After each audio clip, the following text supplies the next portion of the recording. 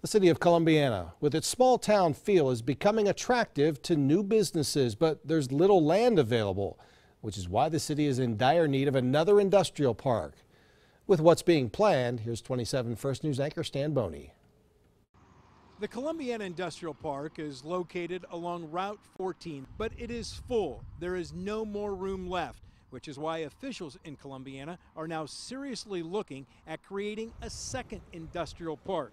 The Columbiana Chamber of Commerce gets requests from about four businesses a month looking to locate in the city itself, but it is limited on the property that is available. With the new cracker plant expected to open up soon in Beaver County, Pennsylvania, Columbiana is hoping to attract some businesses from that plant.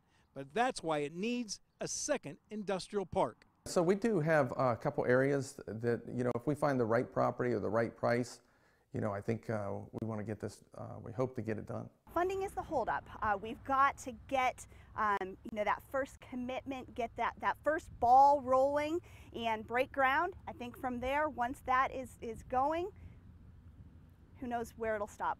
Columbiana is also making itself attractive to new businesses. Since the early 2000s, it has invested nearly $40 million in infrastructure improvements, half of that in a new water treatment plant.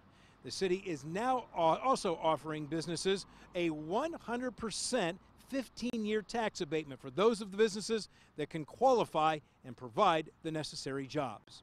In Columbiana, Stan Boney, WKBN 27 First News.